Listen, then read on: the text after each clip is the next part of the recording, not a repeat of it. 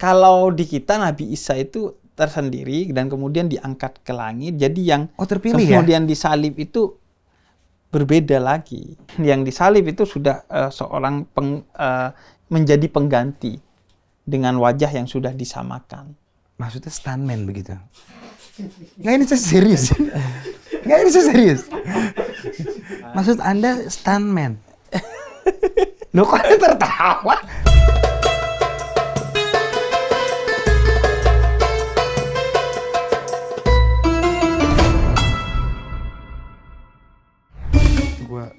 Dulu ya bentar ya. Pegel dari pagi syuting. Lu kayaknya eh, masuk angin deh. Masuk angin, makanya gue pengen ini dulu juga ada inherent apa. Lu merasa nilai-nilai Islam yang gua ajarkan bikin lu masuk angin? Bukan, bukan, bukan. Iya kan? Bukan, emang enak aja kayak jadi tenang gitu loh pikiran gue. Adem. Kayak acara ini adem. Adem ya. Ini apaan? Ini plus Habib. Enak lah kalau lagi nggak enak badan sih gue selalu pakai ini. Lu belum pernah coba ya, Bebe? Enggak, gua belum pernah. Oh, coba deh lu hirup dikit. Ntar kalau gua masuk angin ya, gua pakai ini ya. Oke. Masuk apa? Masuk angin. Oh iya. Lu mau masuk Islam? Gue nunggu jokes itu sih emang. Iya iya iya iya iya. Beb, oke. Eh. Kita punya topik, gua punya topik buat lo. Mm-mm. God's plan, rencana Tuhan. Oke. Oke, ini dalam sih. Ya, gua nggak tahu ini sensitif apa nggak, tapi ini biasa udah kita pernah kita lakuin sih. Bedanya ganti channelnya biasa di face to face dan konten lo kan. Mm-mm. Sekarang di sini. Sekarang gua kayak pengen beraniin nah untuk lebih deep. Oke. Oke, ya gue pengen tahu soal rencana Tuhan yang menurut gue confusing sih. Mm-mm. Yang gue nggak bisa bilang kurang fair ya, tapi gue penuh pertanyaan nih di sini nih. Wah, Em, kan semuanya itu berasal dari rencana Tuhan, korek nggak? Iya, benar. Benar dong. Hmm. Nah, kalau ada orang dilahirin dengan eh, tubuh yang tidak lengkap, Mm. eh, penyakit yang sangat langka, Mm. itu rencana Tuhan. Iya, itu bagian dari rencana Tuhan. Kok Tuhan nggak baik kalau dia merencanakan itu? Iya, pertama ya, eh, Tuhan katakan di dalam Al-Quran itu bisa jadi apa yang terjadi kepada dirimu Hmm. itu semua hal yang terjadi kepada dirimu itu disebabkan oleh eh, kelakuanmu sendiri. Oke. Jadi eh, bisa jadi seorang anak itu lahir dalam keadaan yang kurang baik. Berkebutuhan khusus itu lantaran tingkah pola orang tuanya. Misalnya ketika masih dalam kehamilan dia melakukan hal-hal yang bisa membahayakan bagi janinnya sehingga kemudian janinnya kenapa-kenapa. Tapi semua itu berada di bawah pengetahuan ilmu Tuhan. Ya. Kemudian eh, bisa jadi juga ketika dia lahir eh, dia mengalami kurang gizi dari orang tuanya yang menyebabkan ketika dia berada di umur tertentu dia mengalami kekurangan-kekurangan tertentu Oke. dan banyak hal. Ya. Tapi semua itu berada di bawah eh, ketetapan dari Tuhan Ya. bahwa dia akan begini dan begitu. Apakah itu buruk bagi si anak sedangkan itu kelakuan bapak sama emaknya? Iya. Kenapa anaknya yang harus menanggung Dan itu bagian dari itu? rencana Tuhan. dan itu bagian dari rencana Tuhan. Eh, kekurangan itu ada pada mata kita, Oke. tidak pada mata Tuhan. Mata kita dengan segala terbat- keterbatasannya itu melihat kecacatan itu sebagai satu kekurangan. Oke. Padahal itu kekurangan terjadi karena mata kita yang melihat dengan segala keterbatasannya. Gua kasih contoh gini. Eh, tai lalat. Hmm. Tai lalat itu kalau lu ngelihat tai lalatnya itu kekurangan. Jelek. Rano Karno ganteng. Rano Karno ganteng karena lu ngelihat secara utuh Oke. di wajahnya Rano Karno atau Nurul Arifin, iya kan? Ketika dilihat di satu wajah ternyata itu yang membuat tampan dan cantik mereka. Betul, betul. Tapi setelah lu melihat secara keseluruhan, Oke. tapi keterbatasan mata lu yang menyebabkan lu hanya fokus kepada tai lalatnya menyebabkan itu seolah-olah kekurangan. Oke. Nah, bagi orang yang mau bersabar, Hmm. makanya dalam Al-Quran itu kata sabar dan kata kebenaran itu sering kali disatukan. Misal, misalnya watawasobil hak, watawasobis sober. Itu disatukan karena dengan lu bersabar, melihat realitas yang ada di depan lu, maka lu akan melihat gambar itu secara utuh. Dan ketika dilihat secara utuh, ternyata itu indah, bukan kekurangan, malah kelebihan. Yang kurang justru mata kita ketika melihat sesuatu itu. Misalnya, gue sering menyebut mereka bukan orang berkebutuhan khusus, Ya. tapi orang berkemampuan khusus. Oke. Gue menemui banyak orang yang dia berkekurangan dalam mata kita, tapi ternyata dia berkebeli- berkelebihan dalam kemampuan. Oke. Misalnya, gue pernah wawancarai satu orang yang punya masalah pada otaknya dari kecil. Ya. Tapi dia mampu menghafalkan Quran dalam waktu kurang lebih hanya satu tahun. Oke. Bahkan dia bisa menyebut ini ayat berapa, kemudian surat apa, letaknya di Al-Quran di mana. Oke. Bahkan eh, kemudian dia melanjutkan untuk menghafal satu juta hadis. Bayangin, di mata kita itu orang yang berkekurangan. Hmm. Tapi ternyata dia memiliki kemampuan yang bahkan gue sampai detik ini belum bisa melakukan kemampuan itu, yaitu menghafalkan Al-Quran dan satu juta hadis tuh. Jadi akhirnya siapa yang kurang, siapa yang lebih. Ya. Jadi sementara mungkin di awal kelahiran antara gua dan dia kalau dijejerin, gua yang sempurna, dia yang kekurangan. Tapi setelah sampai dewasa, ternyata enggak, dia punya kemampuan khusus yang tersimpan justru pada apa yang kita sebut sebagai kekurangan. Oke. Karena ketika lo menganggap itu kekurangan, itu kemudian memacu dia justru untuk kemudian eh, melakukan hal-hal yang melebihi dari apa yang kita lihat sebagai kekurangan itu. Oke. Jadi itu tetap part of rencana Tuhan.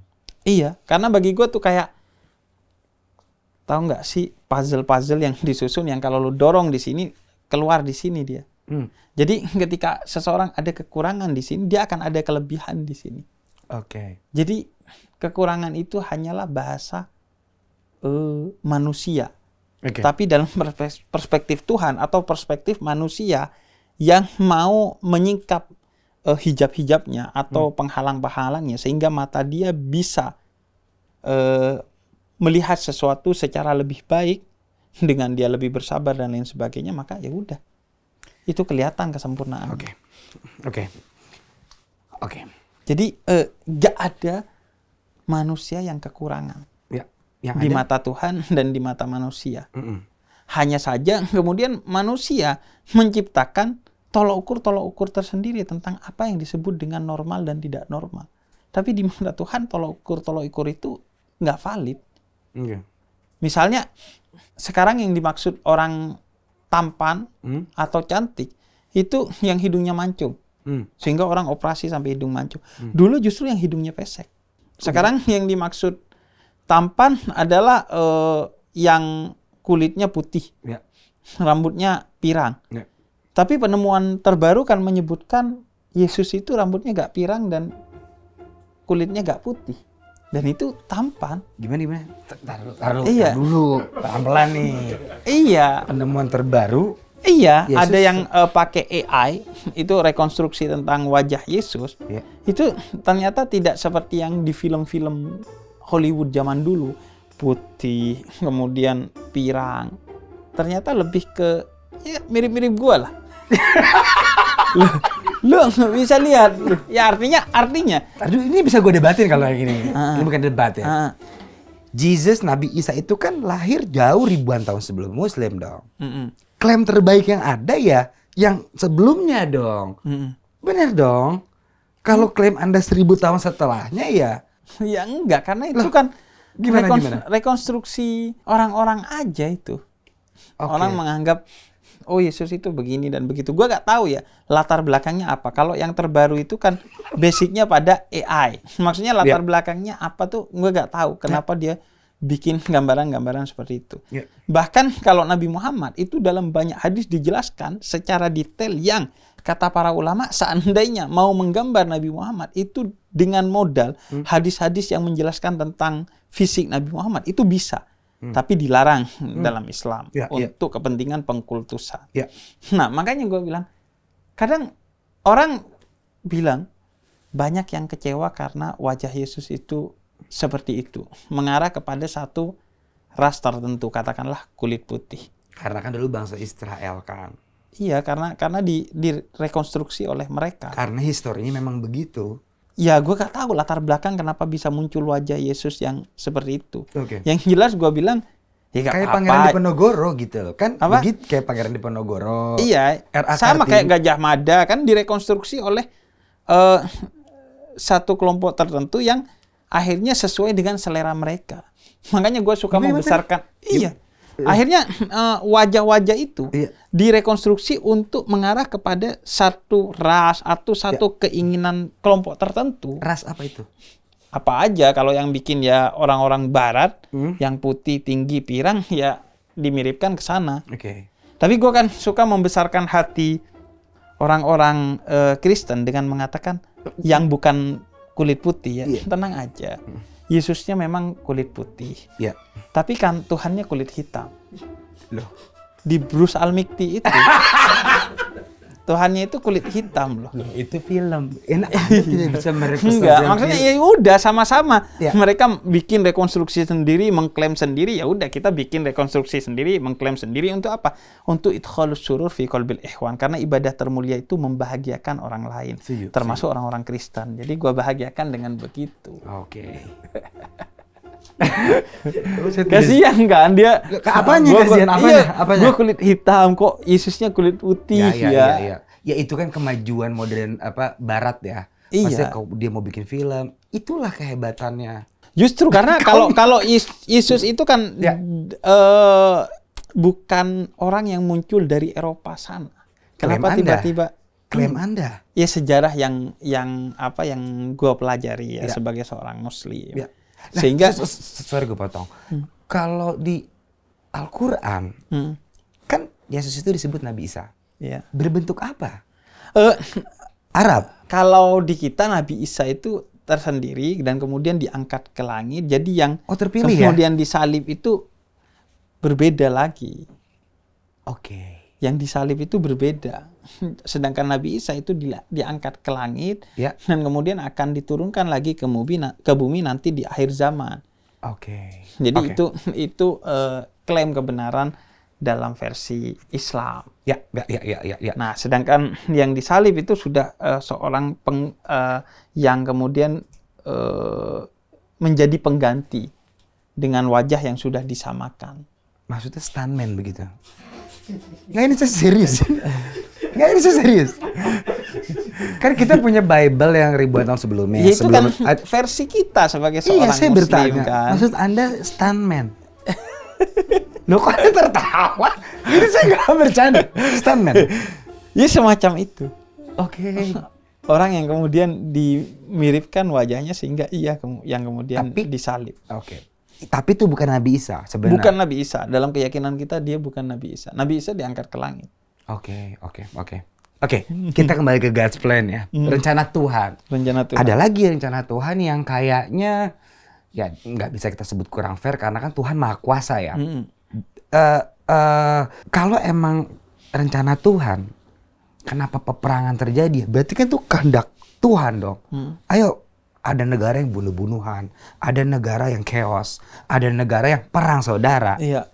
The question is rencana Tuhan. Tuhan yang maha kasih kenapa ada peperangan gitu. Iya dong, kan rencana Tuhan. Iya. Ya, kenapa ada peperangan?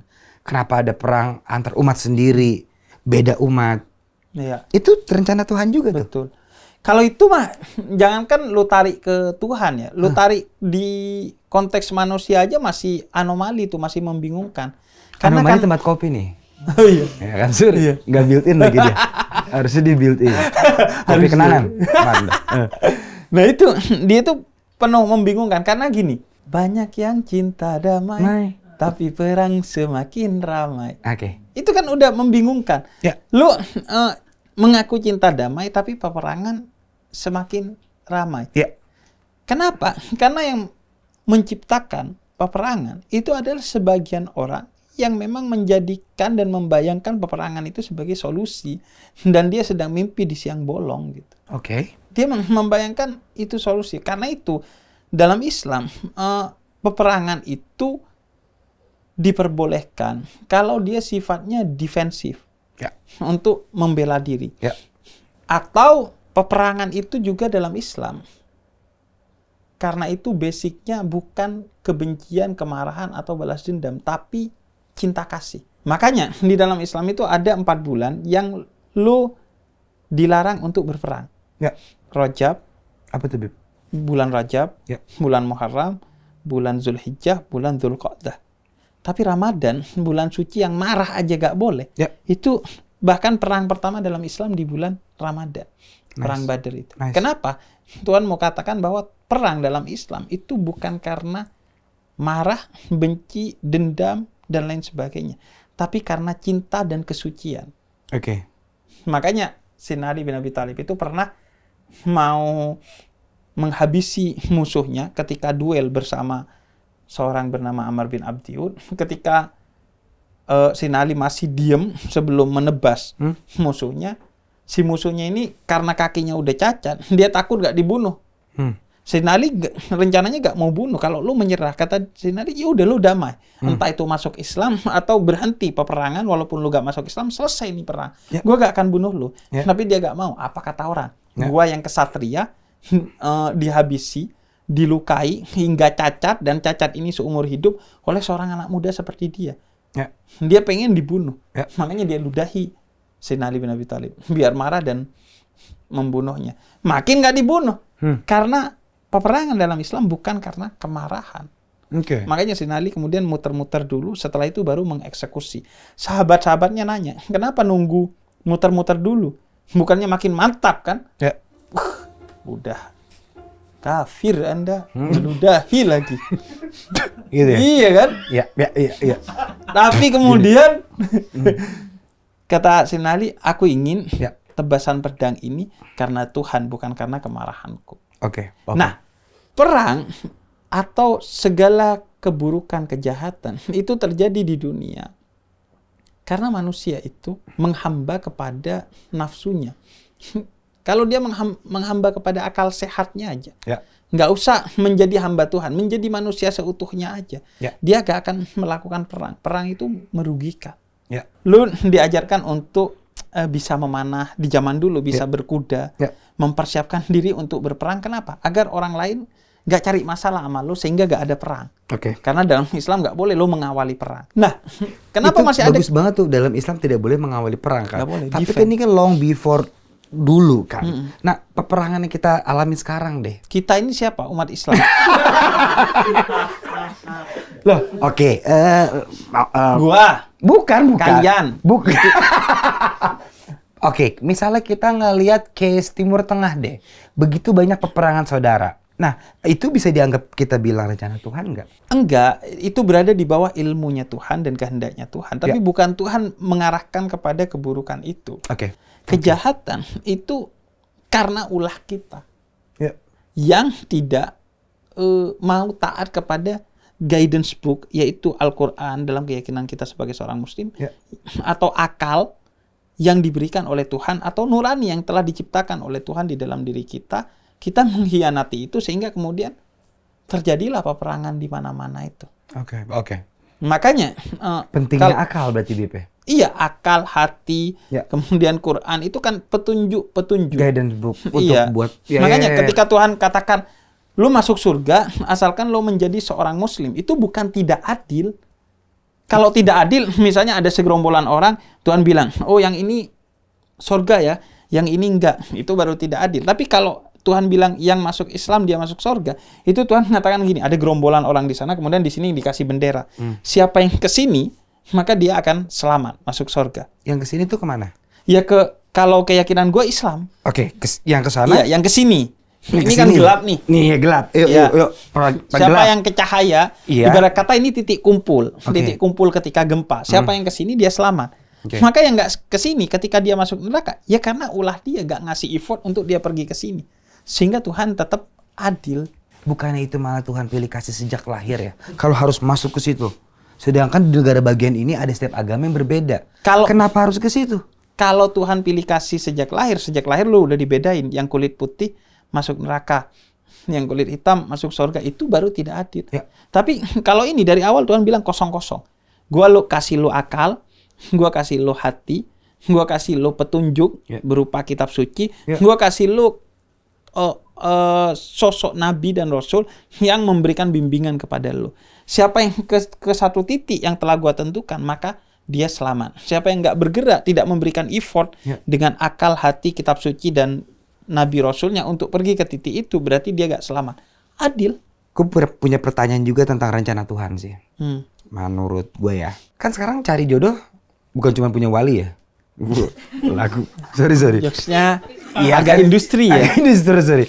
Eh, Ini juga agak relatable ke anak muda sih. Kalau Ah. emang rencana Tuhan, Iya. oh, banyak ya orang yang di di dikasih jodoh em, dengan perbedaan religion. Hmm. Itu juga part of rencana Tuhan. Banyak soal di, di, di anak muda nih. Justru sebenarnya dia malah cinta sama yang beda agama, tapi karena beda religion, ya udah putus aja gitu. Padahal nggak cocok-cocok banget juga sama yang sama. Hmm, hmm, hmm. Nah, itu rencana Tuhan juga untuk Iya. memisahkan cinta, the truth, the true love. Untuk memisahkan cinta. Iya. Sebenarnya gini ya, kalau lu memang percaya kepada kekuatan cinta, Ya. cinta itu akan membimbing lu kepada satu hal yang sifatnya keindahan. Setuju. Misalnya, bini lu seorang muslim. Ya. Ketika lu mencintai dia dan cinta lu tulus, maka akan ditemukan cara-cara sehingga lu akan bisa bersama secara indah dengan dia. Ini tulus dibawa-bawa lagi ya? Oke. Habib, gue tuh sempet nge-scroll, nge-scroll ya berita-berita kurang penting menurut gue sih ya. Hmm. Ada orang yang suka banget nih ya sama anime sampai dinikahin. Sampai segitunya gitu loh. Iya. Lu punya pendapat nggak? Iya, sebenarnya sih kalau dalam Islam merujuk kepada beberapa ayat dalam Al-Qur'an, misalnya surat An-Nisa ayat 3. Hmm. Jadi yang boleh dinikahi itu hanyalah manusia, Kalau barang nggak bisa kita nikahin dong. nggak bisa. Tapi kalau kita makanya para sukain. ulama nggak boleh tuh Ya. eh, menikahi anime itu kan ada kan orang sama anime-anime sampai pengen nikah dan lain sebagainya nggak boleh. Ya, ya, ya. Jadi nggak ada tuh ceritanya menikahi anime Hmm. itu nggak diperkenankan oleh para ulama dalam Islam karena merujuk tadi banyak ayat yang telah menegaskan bahwa pernikahan itu antar sesama manusia. Oke. Jadi nggak bisa tuh Putri Duyung, Nyi Roro Kidul nikahin tuh Nggak ada. Kejauh, iya, iya. aneh-aneh nggak ada. Tapi tuh. misalnya kalau gua ngomongin barang, kan gue suka banget nih sama sofa yang namanya easy sofa. Itu Hmm. sah-sah aja dong. Nah, kalau itu sah-sah aja. Jadi Iya dong. Iya, artinya eh, lu mencari kenikmatan dalam hidup itu boleh aja. Seorang muslim itu bukan harus anti dunia, gak boleh mencari kenikmatan dunia. Boleh asalkan memang tidak bertentangan dengan nilai-nilai Islam. Itu dia yang gue bilang kenikmatan. Karena gue suka easy sofa. Ini kita lagi ngomongin nikmat ya. Nih, kemasan easy sofa itu bisa digulung, Bib. dilengkapi dengan tas. Terus paling enak tuh, gampang dipindahin. Jadi kayak konfi gitu loh kalau Iya. bahasa jakselnya. Ngerti dong, ya kan? Nah, udah gitu yang paling enak. Ini tuh foldable sofa bisa dilipat-lipat. Udah gitu bisa dijadiin bed juga nih, Bib. Jadi kalau misalnya kita lagi pegel, buat selonjoran pewek banget. Oke. Itu. Udah gitu paling enak lagi nih, Bib. Dilengkapi sama zipper. Set. Jadi gampang nih kalau mau dicuci. Jadi nggak ribet-ribet. Aduh, mau cuci di mana ya? Eh, gampang. Nah, Bib, ini juga tuh high density foam. Jadi tebel. Kalau tebel kan biasanya keras ya. Kalau ini empuk. Oke, tebal dan empuk. Tebel dan empuk. Mm-mm. Easy sofa ya. Mm-mm. Oke. Abi mau coba nggak?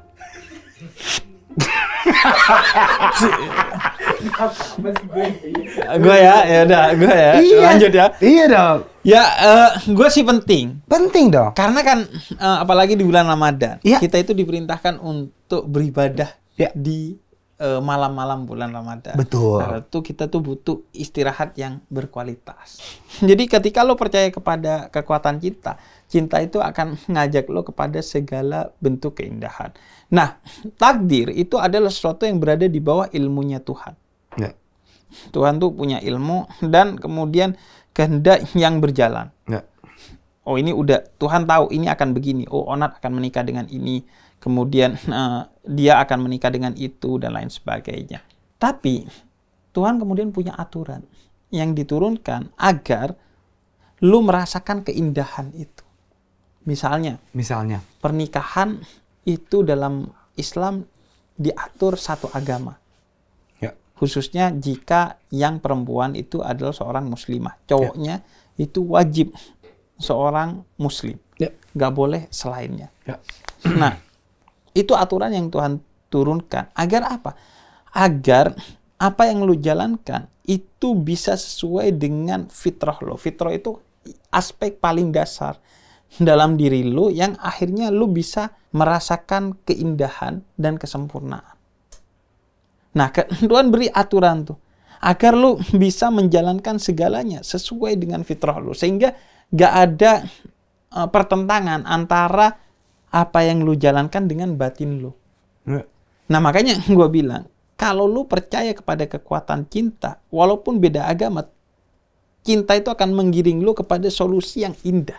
Misalnya, lu jadi mualaf gitu. Iya. Jadi ada aturan yang Tuhan berikan Ya. untuk kemudian mengarahkan kita kepada naluri kita Ya. yang paling dasar yang disebut sebagai fitrah. Karena kita meyakini Nabi bilang begini, Tuhan itu sudah kasih fitrah kepada lo yang menyebabkan lo kemudian memilih agama-agama yang kita yakini eh, agama yang tidak benar itu adalah ayah dan ibunya kata Nabi atau nenek moyangnya. Ya, Tapi kalau lo mempelajari dengan penuh ketulusan, maka lo akan sampai tuh kepada fitrah lo yang kendaraannya adalah Islam itu. Makanya kita meyakini siapa yang mencari dengan sungguh-sungguh dan kemudian dia mengikuti aspek paling dasar dalam dirinya, entah lo nyebutnya kata hati atau apa pun, maka gue meyakini dia akan sampai kepada Islam. Karena dialah yang sesuai dengan fitrah kita. Ya. Makanya kita meyakini semua nabi sejak Adam itu muslim. Karena Nabi Isa pun muslim gitu. iya, di dalam Al-Qur'an itu. Misalnya Ini, ini, ini kan klaim ya. Klaim. Iya itu klaim, Klaim. kita sebagai seorang muslim, gue sebagai seorang muslim. Yes, Nah, ini kan yes. konteksnya lu pengen tahu pendapat gue sebagai seorang muslim dan gue harus bercerita secara jujur. Iya kan? Biar lu gak nggak Iya, ngerasa iya. Makanya, makanya gue karena pada prinsipnya betul, ketika gua jujur, Iya. lu mau ikut kayak gak ikut kayak bener bener bener. Ini ada pengetahuan buat gue. Ini Iya namanya kan? knowledge. Iya, Tadi kan nggak tahu. puncak toleransi itu ketika lu sama-sama jujur Ya, dan akhirnya lu sama-sama memahami dan lu sama-sama menghargai. gue setuju banget. Tidak di atas kepalsuan, Betul. tidak di atas basa-basi dan lain sebagainya. Iya, iya, Ya iya, udah sama-sama bercerita secara jujur, kemudian sama-sama memahami dan sama-sama menghargai. Setuju banget. Enough udah. Ma- iya, iya. Kalau nggak setuju, ya udah setuju untuk tidak setuju. Clear. Agree to disagree. Iya, Iya. udah di sana. Nah, gue meyakini ketika seorang itu mengikuti kata hatinya, Ya. makanya kita dijelaskan dalam Islam man arafa nafsa fakat arafa rabbah. Siapa yang mengenal dirinya, dia akan mengenal Tuhannya. Semakin lu masuk ke dalam eh, diri lu, lu akan menemukan Tuhan yang sejati yang dalam keyakinan gua dia menciptakan satu agama sejak dulu yaitu Islam. Ya, ya, ya. Cuman syariatnya berbeda-beda untuk setiap zaman aja. Ya. Nah, Islam ini untuk semua zaman dan semua tempat. Tinggal kemudian aturan itu mengajak lo untuk kembali ke dalam diri lo agar lo bisa hidup dengan nyaman, dengan tenang, dengan indah, dengan damai. Ya. Nah, sama juga dalam konteks itu aturan tentang jodoh. Lu diatur. Kalau lu mau cari hidup bahagia, Cari, cari jodoh yang begini begini begini. Karena dalam keyakinan sebagai seorang muslim jodoh itu seharusnya nggak ada kata cerai. Seharusnya bahkan tidak hanya di dunia lo berjodoh tapi nanti di akhirat. Makanya kata Nabi kepada Ummu Salamah Ummu Salamah ini dinikahi oleh Nabi ketika sudah menjadi janda. Ya. kemudian kata Ummu Salamah entar di, di akhirat gua ini pasangannya siapa laki gua yang dulu atau Nabi Muhammad kemudian kata Nabi yang terbaik akhlaknya. Jadi seorang yang memilih jodoh berupa pasangan yang terbaik perangainya, dia bukan hanya berjodoh di dunia, tapi berjodoh di akhirat. Dan Nabi bilang yang terbaik akhlaknya. Nabi gak bilang gua. Padahal manusia terbaik akhlaknya dalam keyakinan kita sebagai seorang muslim itu Nabi Muhammad. Ya, ya. Kerendahan hati Nabi itu bilang yang terbaik akhlaknya. Ya. Nah, akhirnya kalau lu mencari yang terbaik akhlaknya, maka itu dalam Islam bukan hanya di dunia, tapi di akhirat. Karena akhlak itu yang abadi. Tapi kalau ketampanan, kecantikan nggak abadi. Ya, ya, ya. Kekayaan nggak abadi. Ya, ya, ya. Kemudian apa? Eh, garis keturunan nggak abadi. Semuanya nggak ada yang abadi. Ya. Kecuali ketulusan akhlak itu. Ya. Nah itulah aturan-aturan itu yang diturunkan oleh Tuhan untuk siapa? Bukan untuk Tuhan. Tuhan mah nggak butuh lu beragama apa enggak. Hmm. gue juga gak butuh lu login apa enggak gitu Iya, juga. iya, iya, iya. Itu eh, buat diri lu, Apa? buat diri lu- diri kita masing-masing Iya, ini. iya. Makanya Tuhan katakan inahsantum ahsantum li anfusikum. Kalau lu berbuat baik, kebaikan itu akan kembali kepada diri lu sendiri, enggak iya. kepada gua. Ya. Sampai titik tertingginya ya. Ya. Kenapa lo disuruh nyembah Tuhan? Apakah Tuhan butuh disembah sama lo? Enggak. Tuhan disembah lo gak makin mulia. Dihina sama lo nggak jadi hina. Ya. Tapi kenapa Tuhan suruh sembah dia? Karena lo tetap butuh sandaran terakhir. Ya. Lu sedih butuh ibu, butuh istri, butuh anak, butuh Ya. teman untuk jadi sandaran. Puncaknya, ketika semua gak ada sandaran lu adalah Tuhan. Lu butuh Tuhan. Ya. Nah, kalau Tuhan nggak nyuruh lu nyembah Tuhan, lu tetap butuh itu sandaran terakhir. Makanya lu akan nyembah Tuhan-Tuhan palsu. Itu Tuhan palsu gimana, Bib? Iya kayak Fir'aun, Namrud. Mm. Iya kayak Tuhan-Tuhan apa stand apa kata lu tadi? Tuhan Tuhan-Tuhan Stuntman. inilah, Tuhan-Tuhan cosplay lah. Oh, kos. iya. Fir'aun, Namrud dan lain Ya, sebagainya iya, itu kan iya.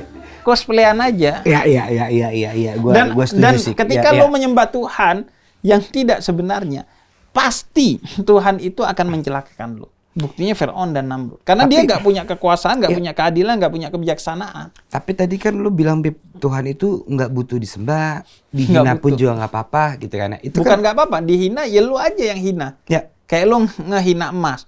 Ah, emas nih, ya lu yang hina karena emas itu berharga. Ketika lo hina, lu yang hina lisannya.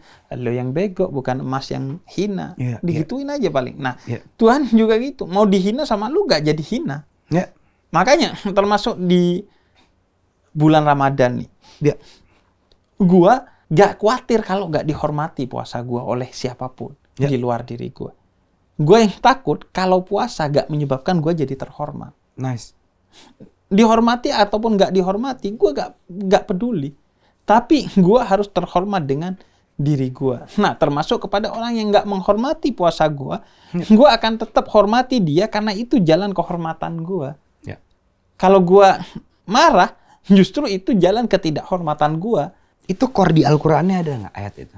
Iya, karena dalam Al-Quran itu puasa untuk bertakwa. Takwa itu tolak ukurnya dalam Al-Quran itu tiga. Gak marah meski dipancing marah. Ya. Memaafkan orang yang memancing lu marah. Ya. Dan yang ketiga bersedekah kepada orang yang bikin lu marah. Itu kalau core itu dijalanin selain bulan puasa, betapa indahnya Islam. Iya, karena itu tugas Gak usah orang nunggu muslim bulan itu- puasa, terusin aja begitu sampai mati. Betapa kerennya Islam. Benar, makanya eh, Ramadan itu kan kata Nabi adalah madrasah, sekolah. Ya. Bukan untuk lo baik cuman di bulan Ramadan, Ya. tapi meramadankan 11 bulan yang lain. Nice. Makanya mau di lu gak hormatin gua, silahkan. Ya. Tapi gua tahu akhirnya siapa lo. Itu. Hmm. Makanya uh, Sayyidina Ali Zainal Abidin misalnya ya. eh, pernah dihina Dina Ya, ya. oleh orang dan kemudian dia memilih untuk memaafkan, tidak marah dan memuji orang itu, Ya. memberi sedekah kepada orang itu. Orang-orang di sekitarnya nanya, "Lu kenapa melakukan hal itu? Kenapa lu gak membalas?" Kata dia, berlaku buruk adalah akhlaknya dia dan berlaku buruk baik adalah akhlaknya gua. Itu pembeda antara gua dan dia. Jadi gua gak minta dihormatin. Hanya orang yang rendah yang minta dihormatin. Gua gak minta dihormatin. Sebenarnya tiga core Al-Quran itu bagus banget. Nah kalau itu dijalanin orang bener-bener bener, Tidak ada patung Bunda Maria yang ditutup dengan terpal. Sat- satu, dua, tidak ada kasus penistaan agama dong. Kenapa orang harus tersinggung? Kalau tiga core itu dijalanin sama orang Islam, Betul. sedikit-sedikit, wah anda menista, menista. Kalau core Iya. itu dijalankan, nggak akan ada, ada penistaan. Tidak agama. ada orang yang merasa agamanya dinista. Ada, Tapi, ada, eh, ada, ada. Enggak, maksudnya kalau itu dijalankan, tidak akan ada orang yang kan? merasa agamanya dinista. Yang ada mulut-mulut yang penuh dengan nista. Ya. Tapi gua tetap, eh, kan tidak semua orang berada dalam di level itu. Nah, Itu Bib maksud itu yang bikin kemudian orang Kenapa gue itu suka but- ngobrol sama lu, lu levelnya tuh Enggak. coba yang di bawah lu. Nah, it- Nista! Iya kan? iya sama di Myanmar juga. yang beda Oh. server dengan gua juga. Iya, bener bener bener. Itu Nggak, itu nggak, apa? ini kan knowledge yang gua nggak tahu Betul, tentang iya. tiga core Al-Quran menurut, yang menurut gua ya, gua problemnya itu adalah mayoritarianisme. Ya. Ketika lo mayoritas, ada ego yang naik Ya. kadang bagi sebagian orang. Makanya mayoritas itu sering kali disindir di Quran. ya, uh, aksarahum la yaqilun, aksarahum la ya'lamun. Sebagian besar kalian nggak berpikir, sebagian besar kalian nggak punya ilmu. Hmm. Orang yang sebagian besar itu sering disindir sama Quran. ya, Karena mau dijaga agar nggak naik tuh egonya. ya. Karena Itu lu kalau diatur dalam Quran ya. iya itu di, di- dijelaskan Ya, ya, dalam ya. Al-Qur'an. Makanya bagi gua eh, ada level-level orang yang belum sampai di sana. Ya, ya. Sehingga butuh aturan yang mengatur agar orang-orang yang berada di level yang belum tinggi itu bisa hidup dengan baik sehingga suatu hari dia bisa grow up. Sama kayak keberadaan Tuhan.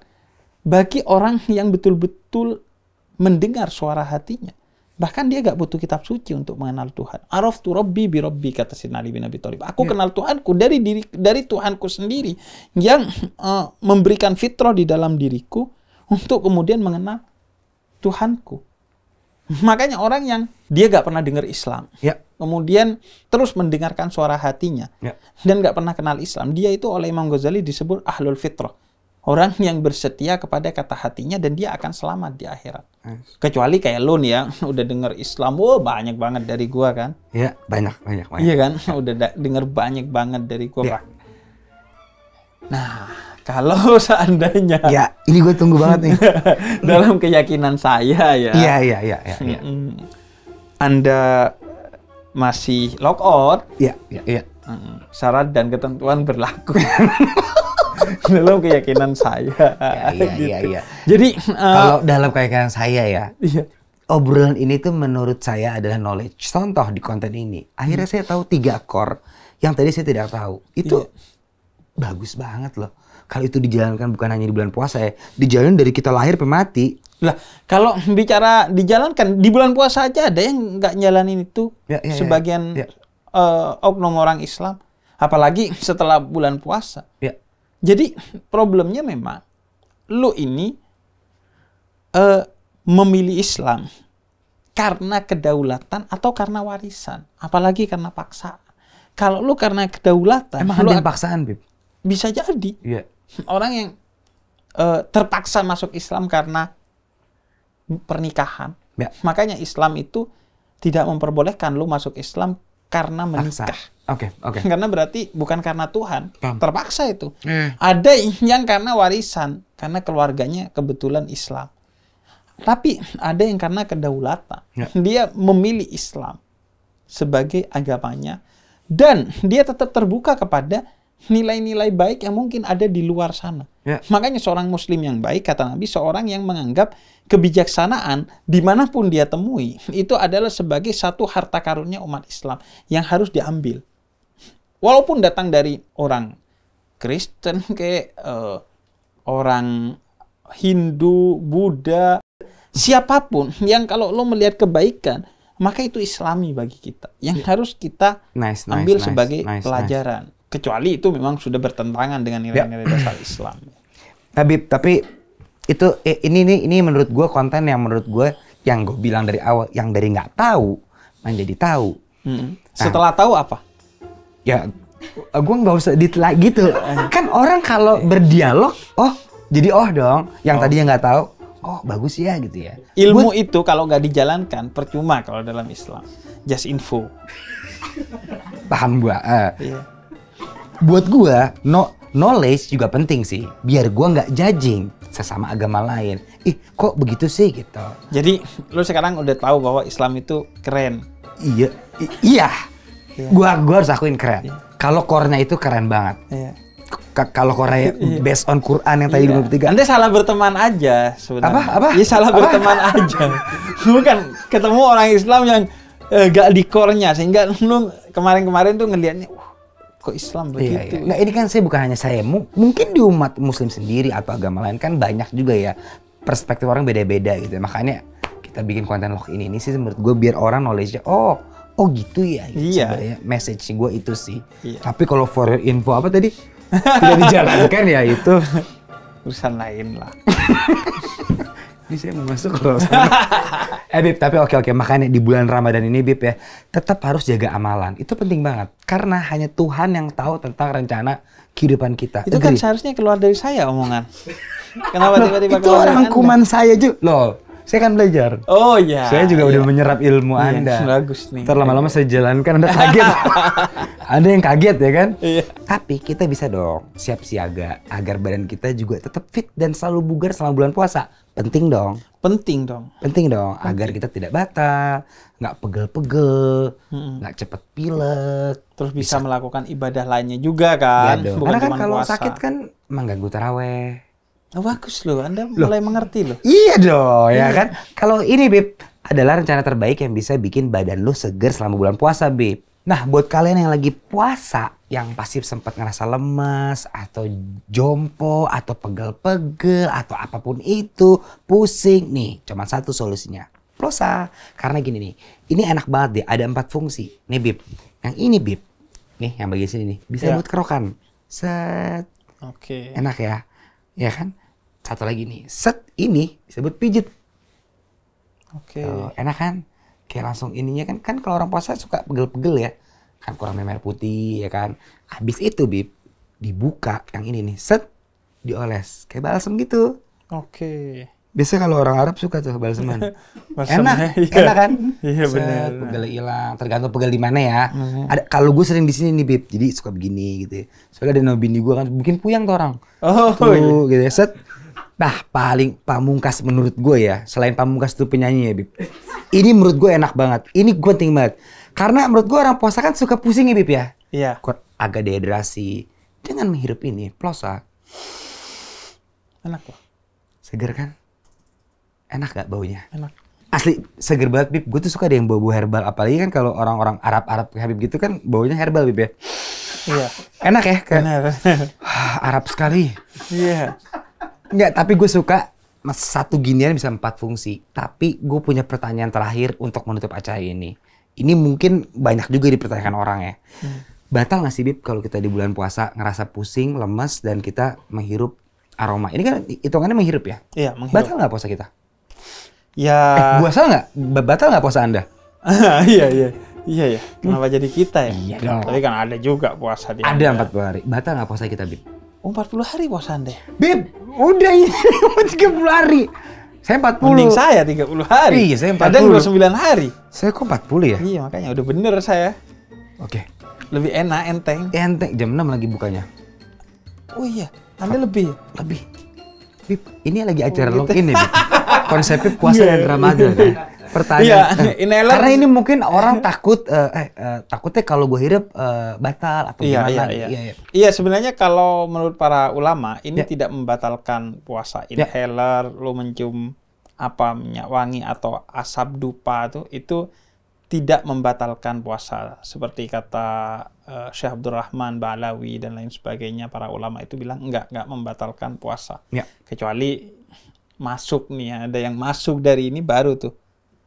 Oke. Karena kalau dia masuk eh, apa yang nempel di sini masuk baru, tapi kalau cuma dihirup mah enggak dong. Oke.